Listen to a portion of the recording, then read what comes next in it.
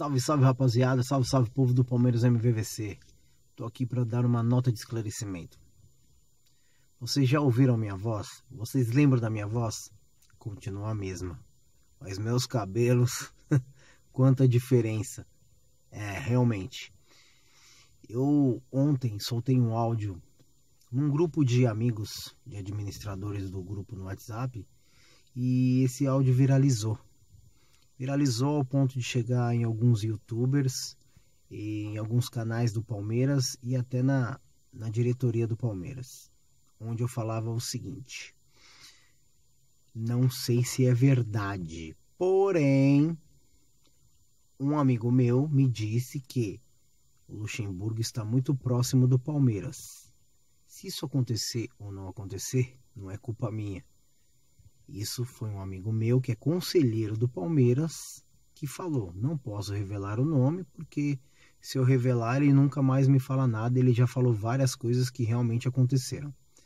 Eu sei que esse áudio que eu falei sobre a viagem para o Uruguai, caso mesmo se o Palmeiras ganhar, mas não apresentar um bom futebol, o Eduardo Batista já volta demitido, porque o contato com o Luxemburgo já foi feito há muito tempo. Pediram até para ele não se empregar, ficar de stand-by, porque a primeira oportunidade iriam demitir o Eduardo Batista. Foi isso que eu falei no áudio. Mas eu não sei se isso realmente vai acontecer. Enfim, estou aqui para esclarecer que o que eu falo sempre eu procuro dizer a verdade nos grupos, mesmo porque eu não falei nos grupos, eu falei num grupo separado, mas esse vídeo saiu do grupo separado e foi parar por aí, em todos os lugares. Vocês já devem ter ouvido, quem está assistindo esse vídeo provavelmente já ouviu esse áudio que eu estou dizendo, mas eu quero esclarecer que se isso não acontecer, a culpa não é minha tá? Ah, não tem a fonte forte, não sei o que tem. E a, a culpa não é da pessoa que me falou também. Existem muitas pessoas atrás disso, mas o nome do Luxemburgo é forte sim, lá dentro do Palmeiras.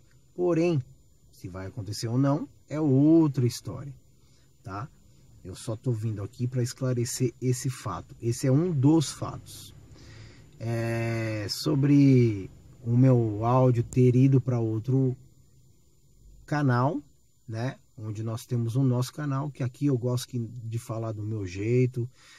Procuro sempre falar um português correto, porém, a linguagem de um torcedor palmeirense fanático, onde meu pai me ensinou a ser fanático, meu pai que viu o Palmeiras ser campeão mundial em 51, bababá, bababá. Quem quiser conhecer a minha história, me procure, por favor. e a história do meu pai. Meu nome é Emerson, em homenagem ao Emerson Leão. Para começar a minha história aí, né? Mas enfim, é, vai muito mais além disso. É... Outro fato. Fato 2. Eu quero que os torcedores do Santos, do Corinthians e do São Paulo vão se foder, tá? Podem entrar no canal, podem comentar o que vocês quiserem. Isso é bom para nós, seus idiotas, seus imbecis, suas amebas. Podem comentar, fiquem à vontade. Isso para nós é um alento, porque quanto mais vocês comentam, é sinal que a gente está incomodando seus bandos de trouxa, tá? Comenta mesmo, cambada de idiota. Vamos que vamos que o show não pode parar.